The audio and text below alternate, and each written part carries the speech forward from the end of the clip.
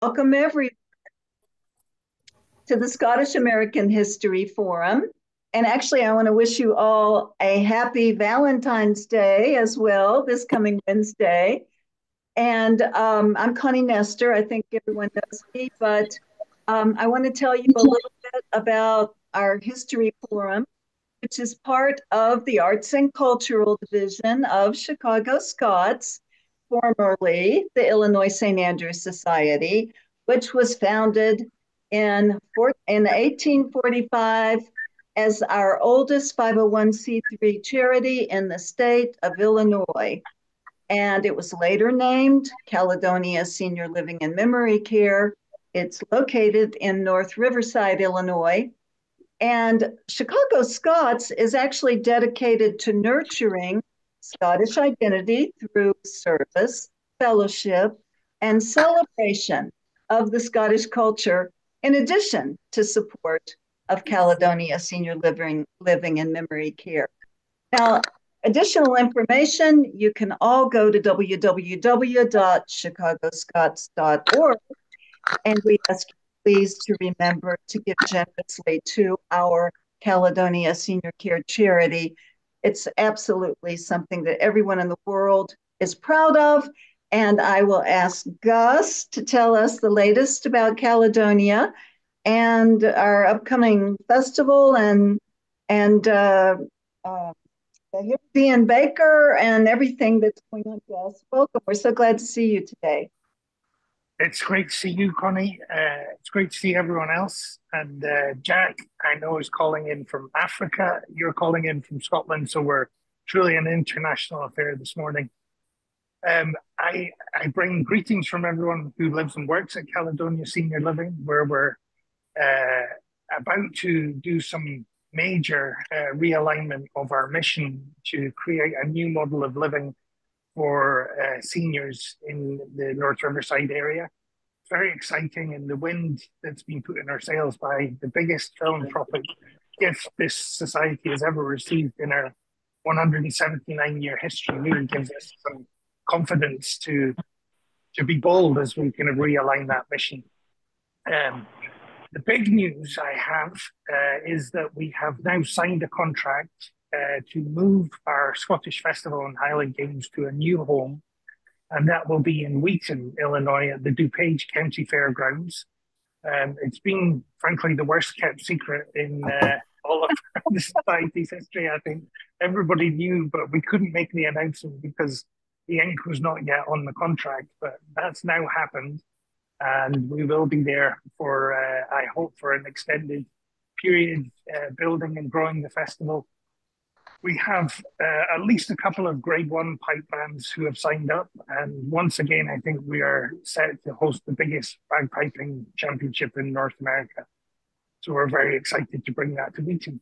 Um, the, the other holdup that we had to negotiate at Wheaton was uh, much more about content. Uh, and when I say content, I mean whiskey.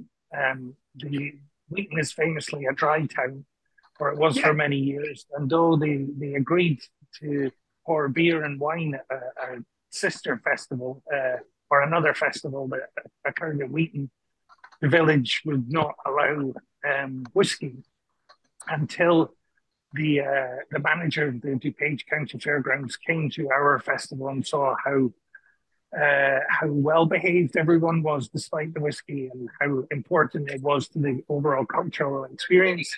Took it to the village and they agreed that for us they will change the rule and pour whiskey. So I'm delighted to, to share that news with everyone.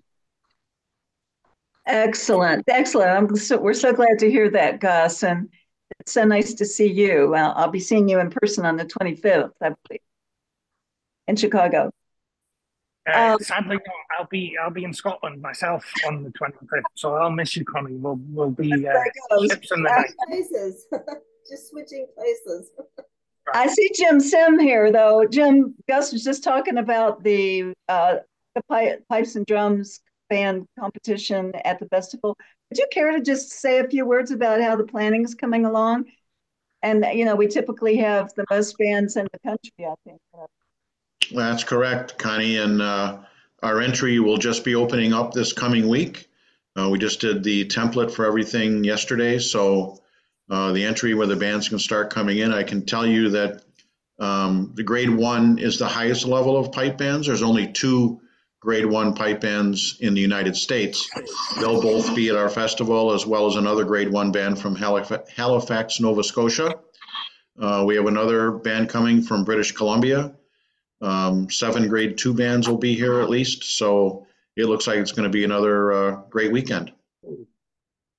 Excellent. And I'll be there. Save room for the history tent. we will. Okay, well, um, I want to move along in the interest of time. Hi, Liz. Hi, Sandy. Um, I just would like to ask that everybody turn your cameras on today. This is by special request of our speaker, David O. Stewart, who really likes to interface with uh, the, the participants when he's speaking. But before we begin today, I just do want to remind you uh, that next month, and is Don McLeod on here? I, I, I can't Yes. see. you, Don. Where are Yes. you? I'm I'm uh, I'm on. Oh, okay. We can't see your face, Don. I can't I can't get my photo up for some reason. Oh, well, we'll we'll forgive you, but we want everybody to tune in next month on March 9th because historian Donald C. McLeod, who uh, was former president of the North Carolina St. Andrews Society, and will show his face shortly, I'm sure, uh, will be returning as a speaker. And he's Don is going to talk on Ulster Scots, Princeton University, where John Witherspoon was president, as you know, uh, and the founding of the University of North Carolina in 1795 and how that came about. And, uh, and also tell us about the role of William R. Davie, who was a war hero. So I hope you'll all make time to join uh, on March 9th. It promises to be a fascinating presentation from Don. And so now um, we do want to go ahead and move forward with our presentation today. We are so very pleased to have with us David O. Stewart, who some of us have seen in person. Um, Bruce Allardyce and myself, I know, have seen him speak, and Bruce has his book. And uh, you may want to flash that again, Bruce. But um, David is going to discuss his book, The Burning Land One Family's Passage Through the Civil War and into the West. Welcome, David. I think we're ready to turn it over to you, please. Well, thank you very much, and thank you all for uh, turning out. Uh, it's a pleasure to be part of this, um, and uh, I'm, I'm, I'm very impressed with the range of your interests. Um, I did a book on uh, the writing of the Constitution, and I believe William Davie was there at the Constitutional Convention, and I could find almost nothing about He was. Yeah, well, the, you you you need to uh, let the world know what you know about him because I could. It was hard. This was 20 years ago, but it was hard to find anything. Hmm. Um, what I want to talk about today uh, is the second of two novels I've done, um, which are inspired by my mother's family's experiences in this country. Um, the first one, well, one strand of my mother's family uh, came early in the 1750s from Germany. Uh, and so they've been here much of the time. Uh, most of my, the rest of my ancestors showed up a lot later. Uh, and they had an unusual name. And if you've done genealogy, you know that it's a lot easier if you've got an unusual name to look for. I once tried to research William O'Brien in Chicago in the 1880s, and it was pretty impossible. Um, there were dozens. Um, so the, the first book um, was the emigration story, which is the new land, when they arrive in this country in 1750s on the coast of Maine. Uh, and it takes them through the revolution. And then I jump ahead 60 years to what I'm, 80 years really, I'm going to talk about today, which is uh, Civil War story, the Burning Land. And these are inspired by what stories my mother told me. And she was a great storyteller, which I think if you have great storytellers in your family, you probably know means that some of what she said was true. Um, but uh, she didn't let the facts get in the way of a good story. uh, and uh, I've spent some time uh, tracking down what actually happened, and then I ended up deciding to write fiction anyway. I guess I have her bent towards making stuff up. But we, these were my ancestors were just regular folks. They were not in the newspaper. They were not people uh, of great note. So it's hard to find out too much about uh, ancestors like that. Um, and because it's regular people history, it's very different. You know, I've done a book on, uh, well, we saw the Andrew Johnson impeachment book. I did one on George Washington, one on James Madison. These people left big footprints, and there's a lot of sources. But ordinary people, um, you know, they're just scuffling, and that was the story I was going to tell here in the Civil War. The male protagonist in the Burning Land, excuse me, uh, Henry Overstreet, uh, is a ship joiner, and that's a 19th century term for a carpenter who built wooden items on a ship. Um, and he's still living in a town on the coast of Maine. Uh, the town is still there, actually. It's called Waldoboro.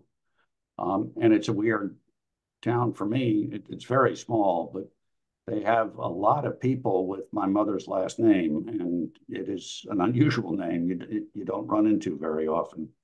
Um, he uh, falls in love with a woman, Katie Nash, uh, who's actually, that is the name of my great great grandmother. And she just wants to teach school. Uh, they end up running a butcher shop and then a laundry. Um, so just ordinary folks, but just like George Washington, a man who aimed high in the world and charted his path accordingly, Henry and Katie have to look at their opportunities. They have to choose um, what their goals are, and then they have to figure out how to reach them. Uh, and of course, their lives are influenced by big historical events. Um, those disrupt the lives of regular people, but sometimes they also open up opportunities. Uh, and in order to write convincing stories about people in the past, um, I need to understand the times that framed them.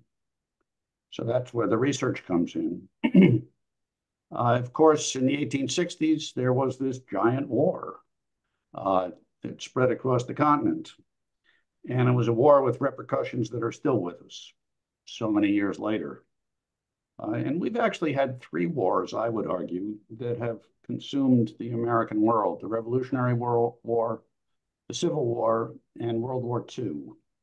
Um, in each of those three, every American's daily life was different. Um, we've had other important wars and they influenced history, but not, not universally the way those did. And let me give you some numbers about the Civil War to build this out. Uh, there were 35 million people in this country then. Two and a half million served in the Union Army, and another million served in the Confederate Army. So that's 10% of the population was in uniform. I think today it's something like 1.4%.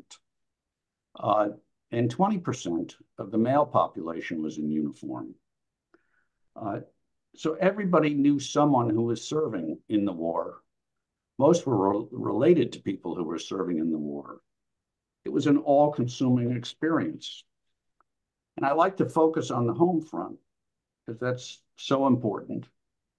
And one of the sort of myths we cling to or have clung to is that the South was all unified behind their cause and the North was all unified behind their cause, which was not true in either case. There were dissenters in both uh, regions. Um, this family is from the shipbuilding town on the coast of Maine, and they made ships for the coastal trade which was mostly cotton. And so their customers were cotton merchants. And the people in Waldoboro thought going to war against their customers was a bad idea. And they although Maine voted for Lincoln in two presidential elections and was abolitionist and uh, pro-war, not Waldoboro. Waldoboro voted against Lincoln both times. And those of us who have lived through times when there's a controversial war, there's disagreement about whether it should be fought, know that that's a very stressful thing when your neighbor, you have neighbors who don't agree on something where you may have a relative at risk. Um, war does mean hardship, even on the home front. Uh, there's the same amount of work that needs to be done, but a lot of the able-bodied have been siphoned off.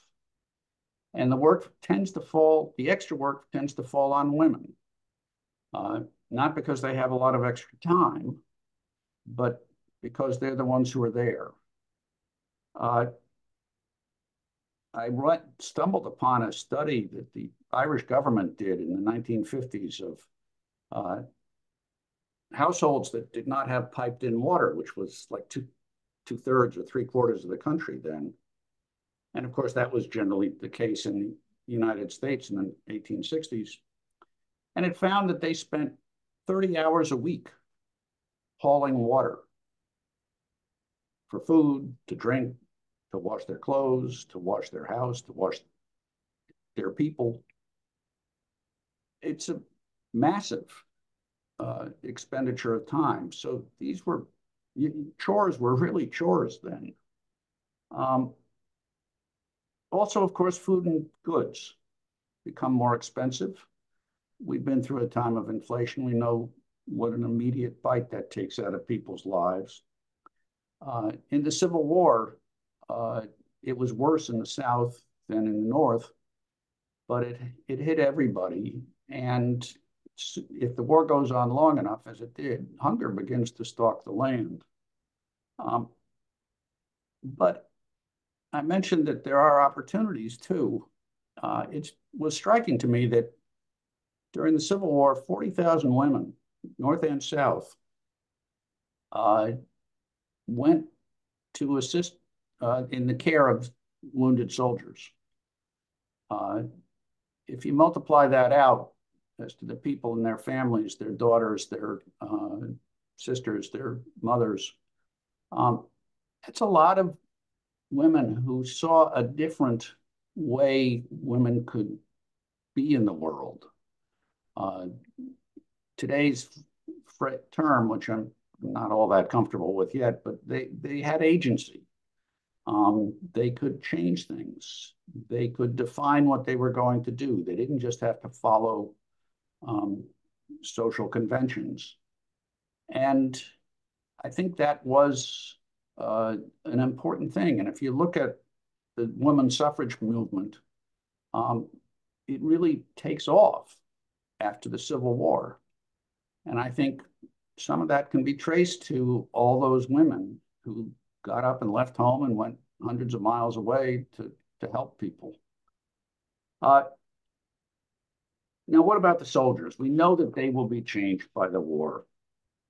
But the most obvious is the cost of battle itself. Um, 700,000 soldiers, that's the current estimate. It's been revised upward a few times in the last 10 or 12 years.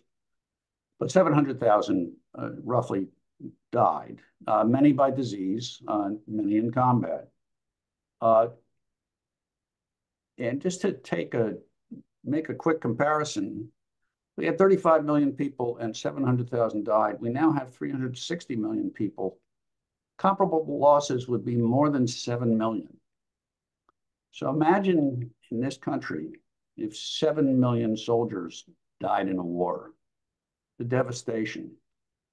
Uh, you know, I think they're seeing something like that in Eastern Europe now with uh, the Ukraine war, uh, and it, it, leaves a leaves wounds and scars that, that do not heal very fast. Uh, there are some other surprising statistics that I stumbled upon. Um, one was uh, how the war was fought. We, uh, after World War II, uh, the Defense Department wanted to find out how many bullets it took to kill an enemy soldier. It's sort of a practical question if you're in charge of the army. And they found that they their soldiers had American soldiers had to fire 45,000 bullets to inflict a fatal injury on an enemy soldier. Now there there are reasons for that. Uh, one of the things is if you're coming into battle, uh, sometimes you just shoot even though you can't see anything because you're nervous or because you're trying to scare the other guy away. If the other guy runs away, yeah, that's a win. Uh, I've been doing some research on George Patton, and he always told his soldiers, I don't care if you can see the other side, just shoot. Maybe they'll leave. So just, just go after them. Um, but it was also, and I, there's a study, a really interesting one by a fellow named uh, Dave Grossman called On Killing, where he reports about different measures of how hard it is to teach a lot of soldiers to get them to kill. They want to serve their country. Or most of them do anyway. But there is a reluctance to kill someone, even at a distance, but with a rifle shot. And there are many instances of soldiers who will help their comrades in any way possible. They'll bring them water, they'll bring them ammunition, they'll shoot high, but they really don't want to shoot the other guy. And they've had to change training. Nobody trains now against, you know, bullseye targets because it doesn't address this issue. Now they use cutouts of the human form. So you're used to shooting at something that looks like a person.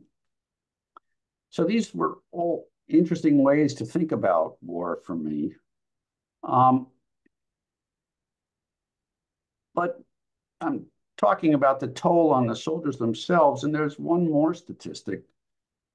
The chances of dying in that war, and you could have done that in your head just in the last few minutes. We had three and a half million served, 700,000 died. That's one in five died. That's pretty terrible odds. Um, and there was, of course, a Defense Department study of what were the odds of an American soldier dying in the Korean War, and they were one in 126. It sounds a lot better. That's still not great. Um, danger is danger, but it puts into context that these guys were scared, and, and they were right to be scared. Um, and so let's think about those 80% of the soldiers who came home, because some have had some wounds, and so they have those scars. But we've known since the Epic of Gilgamesh 4,000 years ago in Homer's Iliad that battle changes people. The experience of, of terror, uh, of extreme risk, uh, has a giant effect. Uh, there's a wonderful novelist named Karl Marlantes. You may know his work. He did a novel called Matterhorn about his own experience, inspired by his own experiences in Vietnam, where he was a Marine captain. And he talked in a piece in the Washington Post in the last, uh, I guess it was Memorial Day last year, uh, about how on his first patrol, he went, went into the jungle and he heard a noise. And he thought, is that an animal? Is that a, a, a stick? Is that an enemy?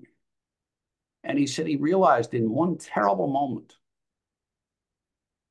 he had waited too long. And if it was an enemy, he'd be dead. And he said that changed his mind in a fundamental way. And he has spent 50 years trying to change it back and he has PTSD now, 50 years later.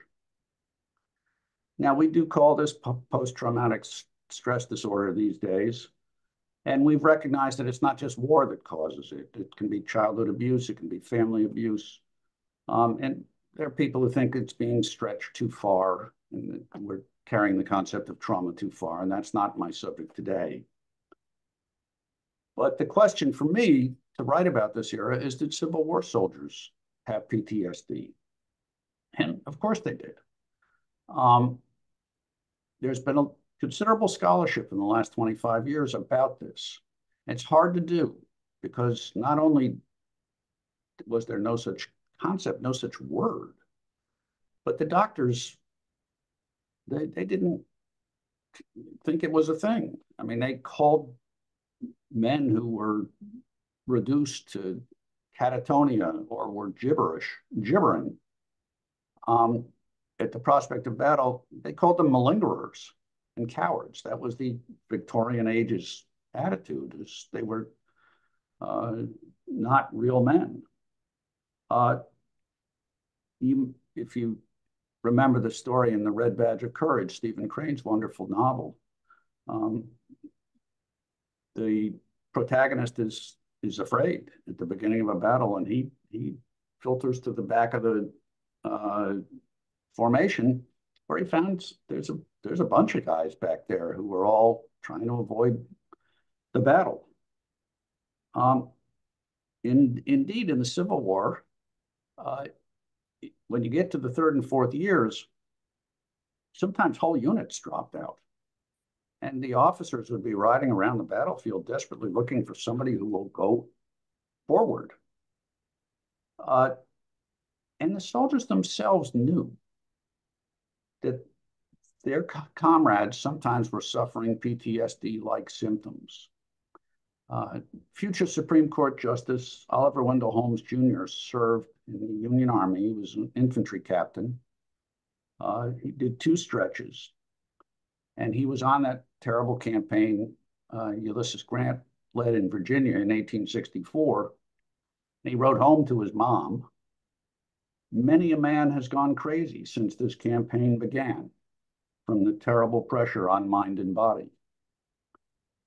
And the common phrases they used to describe soldiers with these issues were um, broke down, sort of an interesting anticipation of our term breakdown, and played out.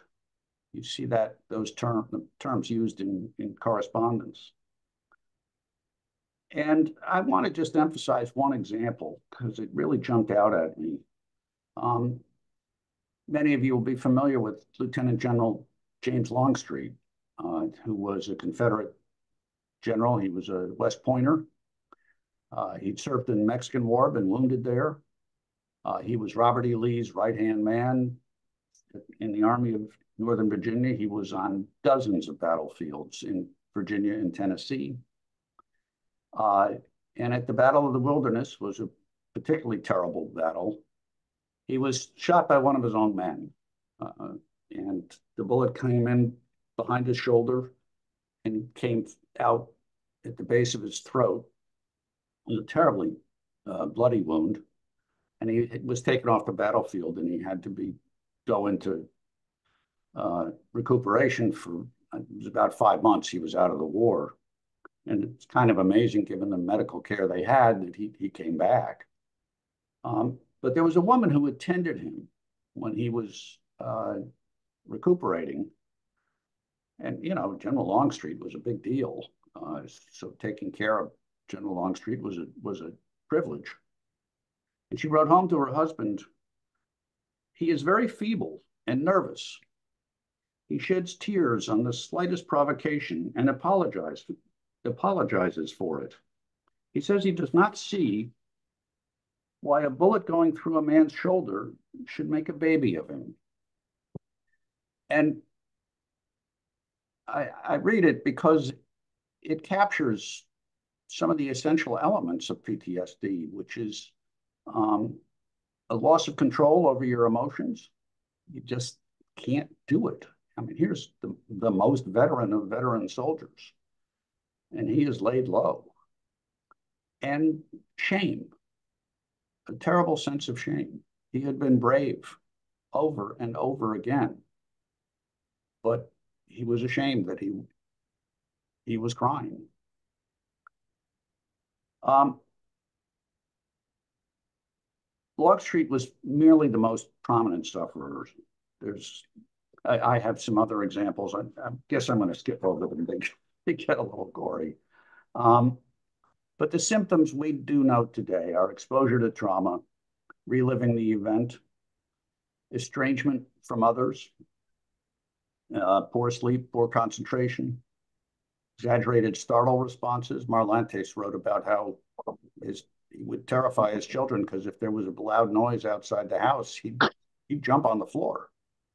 He couldn't stop himself, and they had to get used to that. Uh, now, some of those symptoms may sound sort of mild, and in fact, they may they may describe people we know. But these are extreme versions. And of course, not only the doctors, but family members had no words for describing this. Um, there was just no language.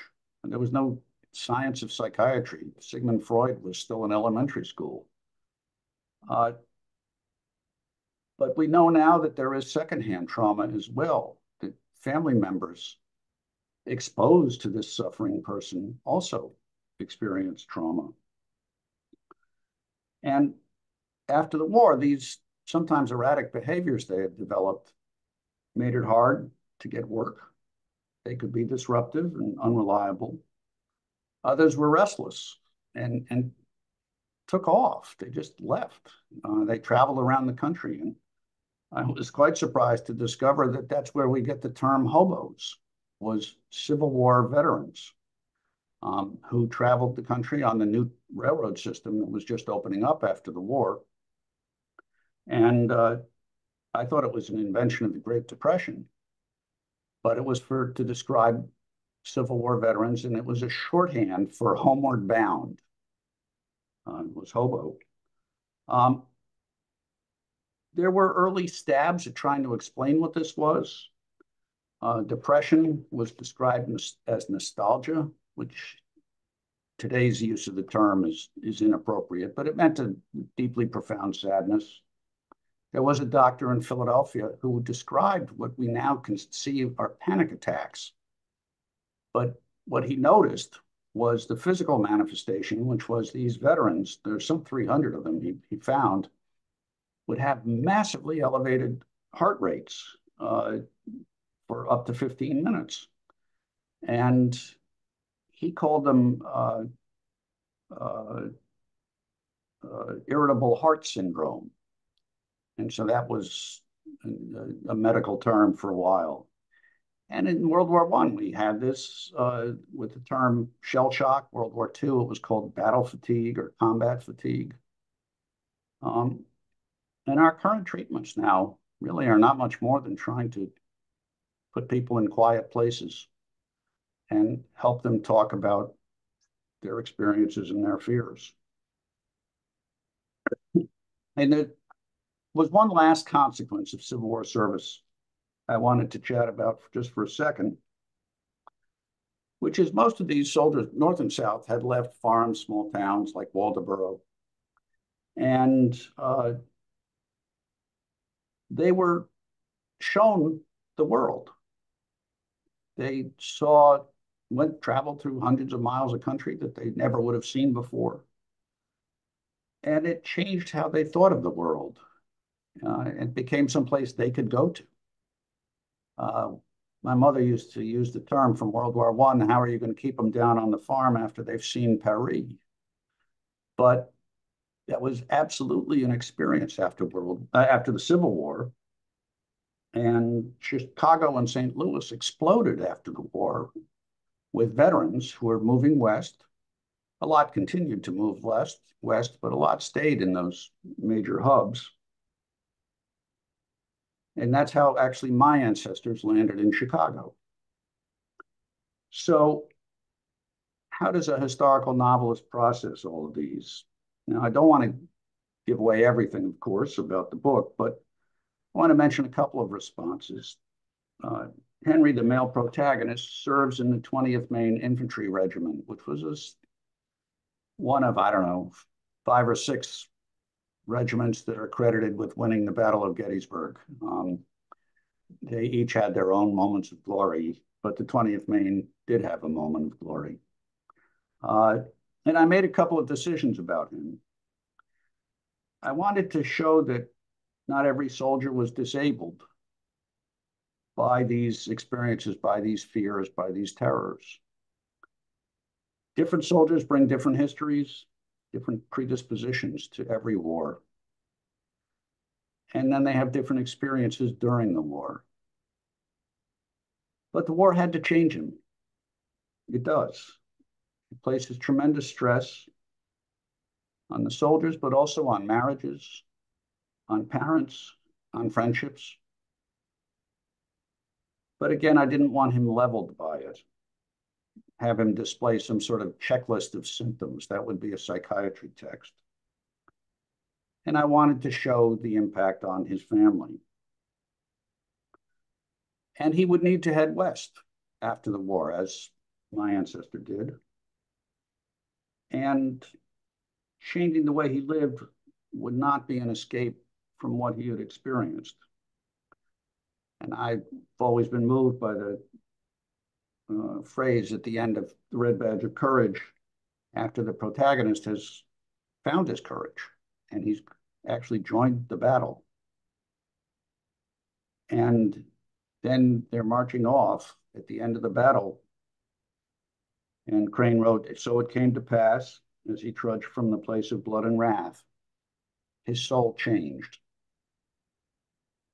Now, let me just, with your indulgence, read a couple of quick passages from the book. Um, one is the moment, the battle in Gettysburg, of Gettysburg, uh, which uh, the 20th Maine was on the far left uh, flank of the uh, Union defenses, uh, and they're on Little Round Top. It's a hill, and if the Confederates take it, they'll be able to put artillery there and sweep the Union lines. Be a catastrophe. Um, they are attacked by an Alabama regiment.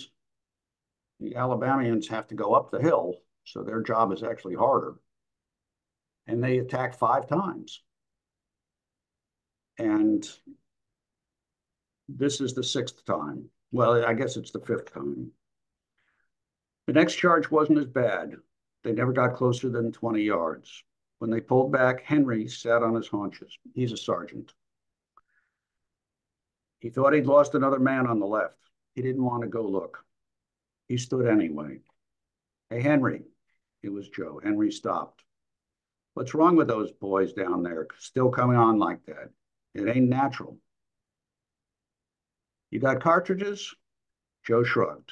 Henry paced the line. Six men on his left, none with more than six cartridges.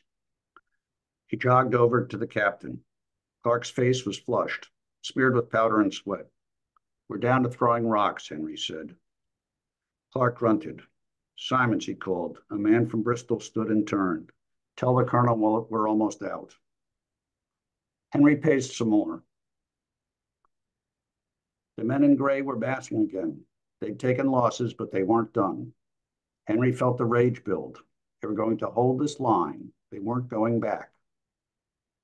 He scanned his men, black powder on their faces like war paint. They didn't need to be led, not by the likes of him. The time for tactics was over. This was just going to be pure murder. Bayonet. Colonel Chamberlain shouted the word over and over. Captain Clark picked it up. So did Henry. The men fumbled for the wicked looking blades, jamming them into the sockets. Henry helped a couple of them. The socket on Humphrey's gun was twisted. Henry found another gun for him. The graycoats started back up the hill. They were about halfway, less than a hundred yards away. To his left, Henry saw a sword flash. A man in blue, an officer, rose up and shouted. Bayonets glinted in the dappled forest light. Others rose, picking up the shout. Not the rebels' high-pitched screech, but a deep roar, a bellow of rage and bloodlust. The left wing started going downhill. Henry looked at Captain Clark. Clark held a hand to him, palm, at, palm down. Henry understood. They were the right corner the anchor for the others to swing around. Company E would charge last. He walked the line. Hang on, boys. We'll be going down. Stand ready. The men could see the rebels slow. They were wavering. Henry looked back to the captain. Now, he thought, now, now. Clark swung his sword, and Henry started to shout. The men joined. This was their hill. No slave whippers would take it. So the other passage is after they've moved to Chicago. And so I know there's a Chicago base for your group, so you'll recognize what happens in Chicago in 1871 when they're living there. They have Henry and Katie have two little boys, and they're living, uh, I believe it's on Polk Street, uh, which is where my uh, ancestors lived. Uh, and he had a, a, butcher store there. Uh, let me get to the right place. They couldn't go as, oh, Katie is lying awake and she smells smoke. She jumps to the window and looks out, and people are shouting that there's a fire. So they all hurry out of the house with the two little boys. They couldn't go as fast on this street, not through the clogging throng. They passed a man with a parrot on his arm. A woman on Katie's right clutched a cat with terrified eyes. The crowd slowed piling up in front of a haberdashery where the door was smashed in. Men climbed through the door carrying away shirts and collars. A wagon was stalled in front of them. Henry shouldered his way into the stream of people on the right. Katie and the boys kept it on in his wake. Two well-dressed ladies, jewels sparkling in the firelight, sat in the wagon, which held framed paintings, trunks, furniture. Farther on, the crowd struggled to get around four pianos that sat in the street. In front of each piano, a man stood with folded arms. Henry, Katie shrieked. Thomas's arm had slipped from her.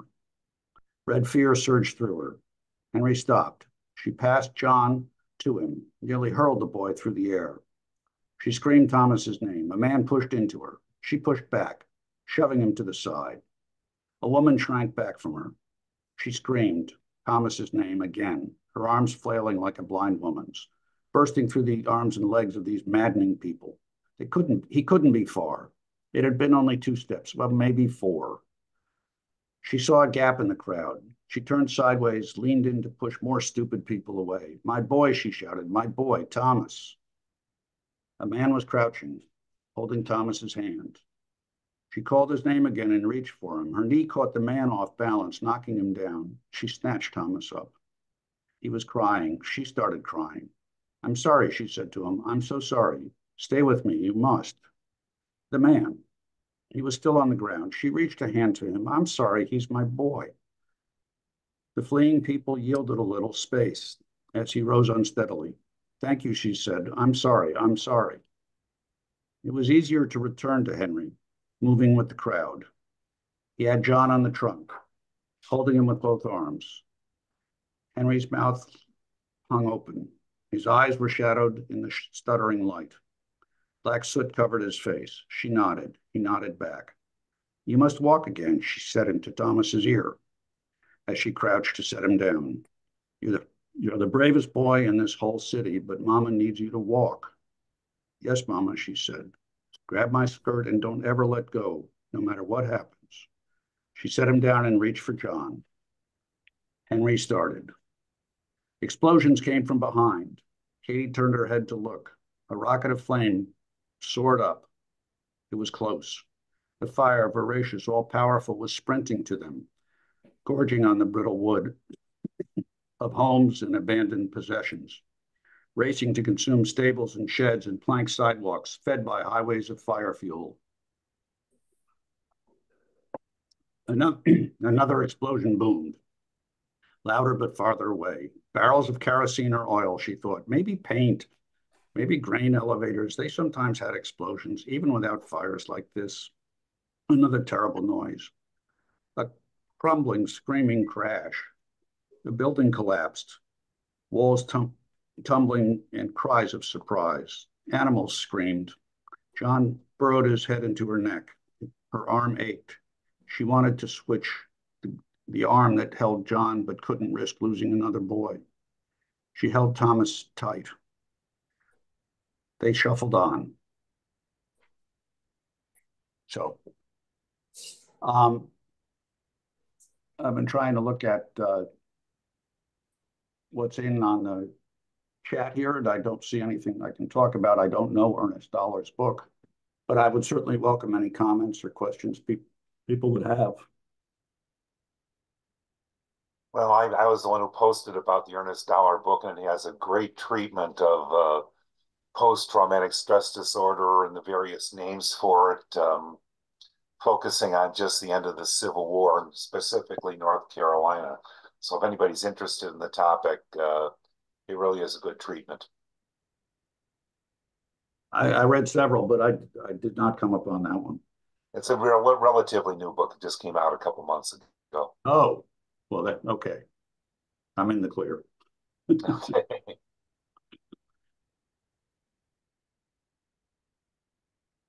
I wonder if instead of attempting to write in the chat, I can ask you or oh, tell you some, something that I realized uh, in listening to you. Uh, my uh, great grandmother came from Scotland uh, around 1870 uh, and married my great grandfather, who was at Fort Hamilton um, toward the end of the Civil War. I don't know if he ever uh, suffered any um, battles, but um, he ended up being a very severe alcoholic. And I, I never connected it before with what have, might have happened to him during the war. So thank you. Yeah, that's certainly one of the outcomes that that happened. David, I think you very successfully conveyed the uh, tension, the uh, agony of your characters. I, I, was very impressed with the tone. Thank you. It was uh, it was a hard time. And, you know, it. Well, I find it hard to read about the the fighting in Ukraine now because those people are going through very similar stuff. I mean, even scarier because there's eyes in the sky shooting at them. Yes. David, can I ask a, a quick question just in, in, regards to the Ukraine um, situation today? Does it seem wars in the era of the Civil War um, and really up through World War II to some degree, well, no, World War One more than World War II. It seems in, in the last hundred years, we'll say, that civilian populations have been much more um, affected by these wars than they were in the Civil War. I just wonder yeah. where you're on that. Yeah, you're right, and it, it's all technology, uh, and it has changed morals. Uh, you know, in 1870, uh, if you had said that it was okay, if you had said to a bunch of soldiers, uh, generals, it's okay to uh, shoot cannons at civilian areas, they would have locked you up. I mean, it, it wasn't okay. It wasn't done. And their weapons weren't very good at doing it. But the weapons just kept getting better and better. First, it was the artillery, then we developed tanks. And the big breakthrough, I've been reading on this, was uh, airplanes. Um, you could just bomb people from the sky. And that was a huge transformation. Um, not so much World War One, but World War Two. And you know, uh, I just did a program with the fellows done a book on the atom bomb, and you know they didn't consider dropping the atom bomb on Tokyo because it had all been burned up. We had firebombed it so often that there wasn't much left to destroy. Uh, so we got through this uh, reluctance to punish the women and children and old people. And now it's, it's accepted. I mean, it, it, World War II, both sides, I mean, we're no better on this count than anybody else. And, you know, we all justify it because the other guy does it. And if we don't do it, the other guy will do it. I just recently read a Prime Minister of England, uh, Stanley Baldwin, in the 1930s, in a very emotional speech to Parliament, said, you know, what war is today is killing women and children. And if you don't, the only way to protect your own women and children is to kill the other guy's women and children first. Um, and that's a terrible thing that we have come to. I mean, killing men is not great, but you know, generally they have weapons, and we, we're more conditioned to it. But you know, now it, it's one society against the other society. It is truly a horror. And we can see it in uh, Gaza, we can see it in Ukraine. David, I think you're right about World War II being the, uh, the war that uh, combined uh, uh, improvements, I use that term advisedly, uh, in technology with radical ideology, different ideological differences. And of course, in the, the war in the Pacific, also racism was was a part of the uh, the uh, animosity. Uh, you know, it started war in Europe with the uh, the the Blitz in London and the the, the uh, deaths among the civilian population. And of course, that eventually led to the firebombing of Dresden and then what you just mentioned about uh, the war in the Pacific, which is, you know, the war in the Pacific was uh, you know, made the war in Europe look almost chivalr chivalrous by by comparison. Uh, but uh, uh, it's a it's a it's a disease that is rampant now, uh, and we're seeing it in Ukraine. We're seeing it in uh, in Israel and Gaza. It's, I don't know how we deal with I, it. I, I'm studying now uh, these two 20th century figures. One is George Patton, who was an extremely effective general. And the other is a British man who believed in fighting World War II, but he also crusaded his whole life for disarmament. He won the Nobel Peace Prize. Uh, and they, it's an accident of history. They both were athletes at the Stockholm Olympics of 1912. Um, and just trying to compare you know, the man who mastered war and wanted to fight it. And he did want to fight it. And the man who studied war his whole life to try to figure out how to stop it. And uh, I, I uh, it, it's it's not an encouraging experience. Uh, we're we're we're violent people. Yeah.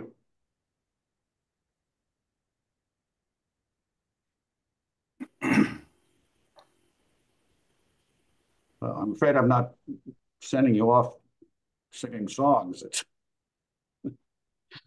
You're speaking truth. well,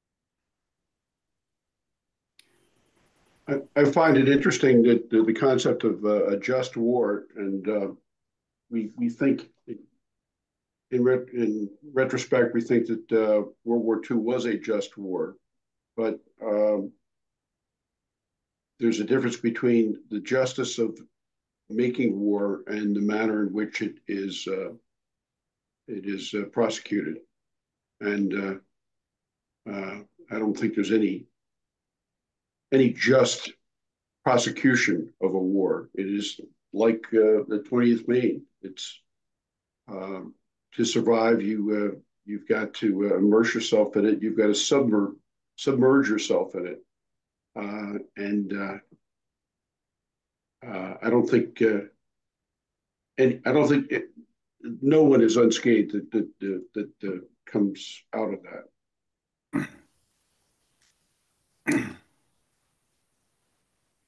Yeah, one of the interesting things uh, I've been th thinking about is of the 20th century statesmen who dealt with disarmament issues.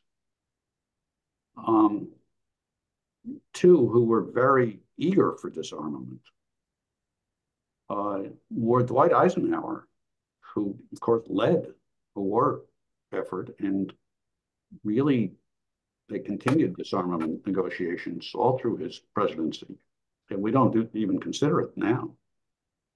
Um, and Khrushchev, who was the premier of the Soviet Union, where, of course, the war was more terrible than anywhere else except Germany.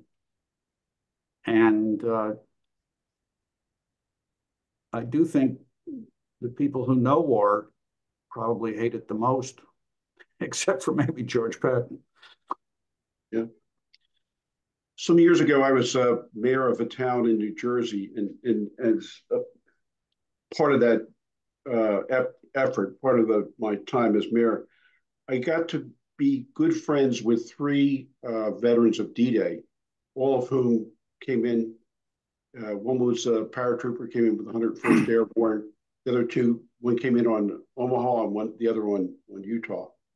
And the paratrooper uh, was an interesting guy, a small small guy, um, but he he uh, his daughter. I, I found in, in, talking to these men that they it took a long while for them to uh, open up, um, and I could see uh, the the pain. They they they didn't want to talk about what they had seen, and they certainly did not want to talk about what they had to do. But this one fellow, the paratrooper, his, his daughter told me a story. Um, they it was in France, and I think they had just taken the town of Carentan, the 101st. And uh, uh, Charlie captured a German officer, and he had an iron cross around his neck. And Charlie wanted that iron cross. So he grabbed the the cross, yanked it off of the officer's neck, and the officer spit in his face. And his daughter told me that Charlie took his M1 and smashed his face, killed him. And uh, uh, Charlie would not tell me that, but his daughter did. And it sort of really, it just, I think it uh, demonstrates in a very uh, harsh way, very brutal way, the uh, the impact that uh, combat has on a an otherwise average person. Yeah, yeah, that's that's a terrible story, and there, uh, Patton was always dealing with this. He was accused of trying to of telling his troops to kill prisoners, and he was always saying, "I never say that." But when you turn your when you surrender, and certainly with the Japanese, this was true. Um, that was no guarantee you were going to survive.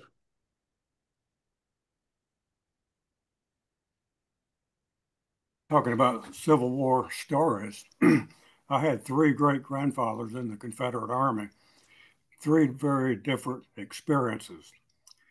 One, Duncan Cole, had a furlough and ran away and never came back. He hid out in a barnyard uh, was fed with the pigs and the cows and uh, totally disappeared. Uh, my great grandfather, William Henry Roberts, took great pride. The year he died in 1923, he took the train from North Carolina to New Orleans for the big Confederate reunion. It was camaraderie. He took great pride in those friendships, and he was a musician. I have his euphonium right now in my living room. And uh, my great grandfather McLeod was wounded at Fort Stedman, put in a military hospital. Lincoln toured and spoke to him. He w- managed to walk home after uh, uh, after the war. As he approached the home, he was emaciated, raggedly, ragged, ragged clothing, had a long beard, and was could hardly walk. The children hid under the house; they were so afraid. Mm-hmm. The children were totally afraid of it. Three different experiences. Yeah.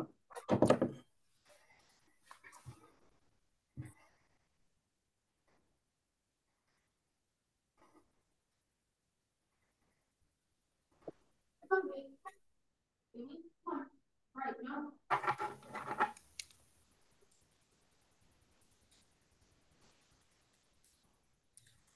Well, you have certainly moved us all today, David. I this has been a very profound discussion. I just uh, would invite any other comments or discussion with David th this morning.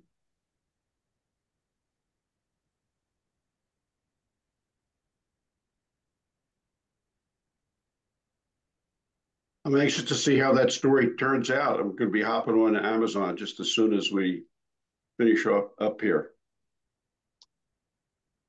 What a great idea.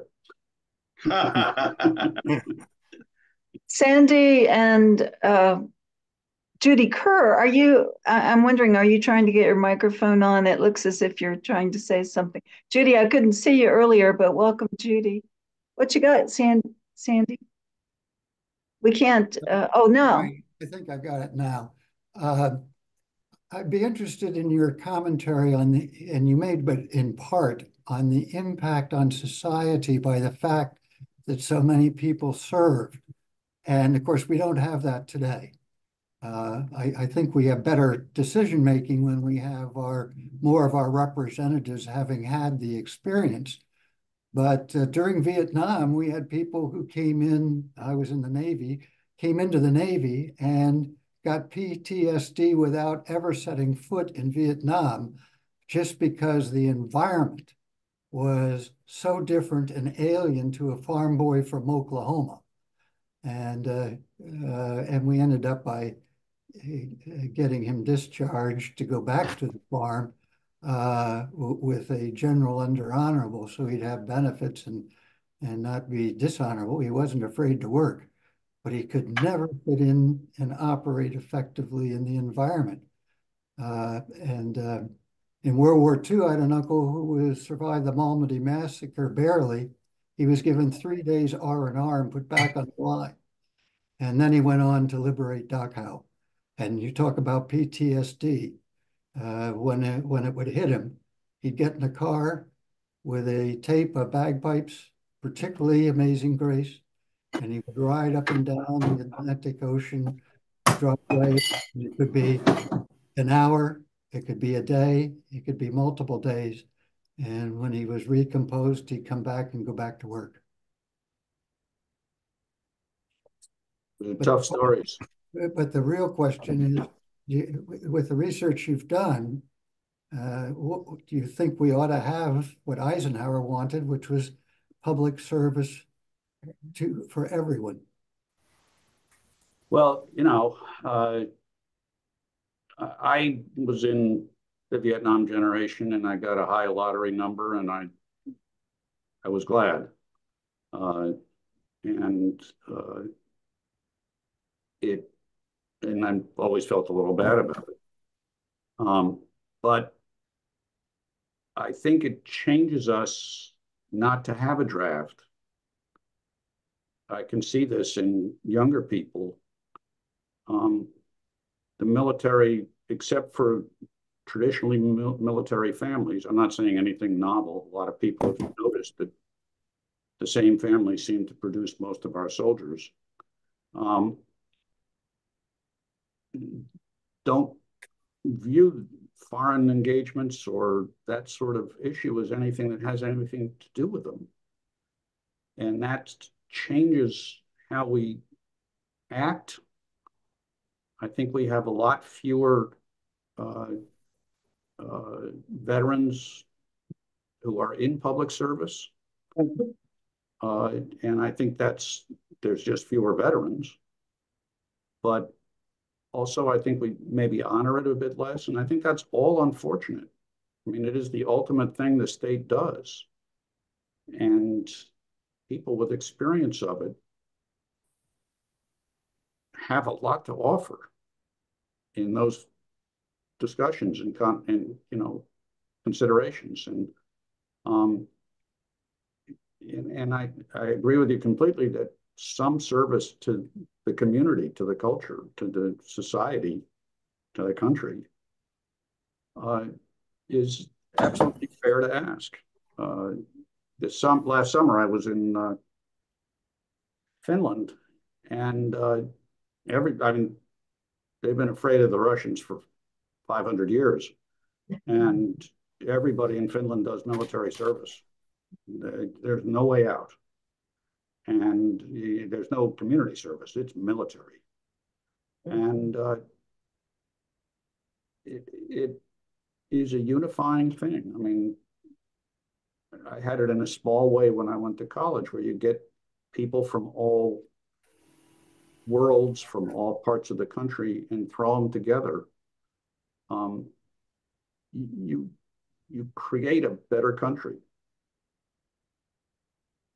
I was just thinking of that. One of the um, one of the benefits of universal service is that it takes us out of our self-segregated society. You know, we live in this. You know, we're, we're we have this sense of interconnectedness in our society, but that's on a just on a superficial level. And uh, but when you're in basic training and you're living with uh, uh, a kid from Harlem or a kid from uh, from uh, you know the hollers of West Virginia and uh, a couple of Puerto Rican kids, um, it, it, has a you know you you you start to look at them as uh, as human beings as as fellow human beings and you um, get a, gain a greater appreciation that I think carries over in, uh, into civilian life. We don't have that now, and that's a shame. I'm a member of uh, the veterans group here in Illinois, and we had an Army recruiter come and talk to us a few months ago. They're having a lot of trouble getting recruits Part of the problem is they can't pass the written test. The other part is they can't pass the physical test. And um, it's a, it's a real shame to see that uh, young people can't pass some of these things. The written test, he was saying, is so basic. If you can read, you can pass the test. But these are these are people that are out of high school and they can't read. And it's only getting worse with you know, the pandemic and everything else is going on. Um, they said they've had a lot of uh, aliens that wanted to recruit, wanted to go in the service, but they have to have a green card. So um, they're really having trouble. And it's not just the Army, it's all of them, all of the uh, services. It's I don't know if anybody's ever done a study of it, but the Civilian Conservation Corps before World War II uh, sort of prepared an awful lot of unemployed males to be able to function when the draft came. Actually, a friend of mine did a book about the Army before World War II. It's called uh, uh, The Rise of the GI Army. Um, and it just covers that time. And he makes that point at some length that the CCC, which was actually commanded by a lot of former Army people, mm-hmm. um, was uh, the, the people in the CCC had that experience of being, you know, part of a unit and having to co- you know coordinate and cooperate, and they were a recruiting uh, target. That that experience was, and the other irony is for World War II, I think we we had to reject like a third of the people who wanted to go in the army or were drafted because they were too skinny. They were malnourished. It was depression times. Mm-hmm. And now a lot of them get, a lot of people who want to get in the service get uh, uh, disqualified because they're too fat. And it just sort of shows you, uh, I guess, not a great trend line. always give thanks to the uh, CCC and the WPA every time I, I drive on the uh, Blue Ridge Parkway. You know, yeah. what they, we, we still benefit from from their contribution in mm. in a lot of ways. Yeah. Well, you've given us a lot to think about uh, and a bit sobering, but very, very interesting and helpful. And I I doff my tam to you. Thank you very much. Yeah, I appreciate you you all coming and hear me out. Thank you, Uh, David. well said, Sandy. Don, were you about to comment? No, I'm, th- I'm finished. Thank you. Thank you, David. Thank you, My David. pleasure. Well, I think we'll go ahead and conclude today uh, and and go and ha have our private thoughts and um, memorials. David, thank you. And God bless all of you. Thanks. Bye-bye. Thanks, David. Thanks, David.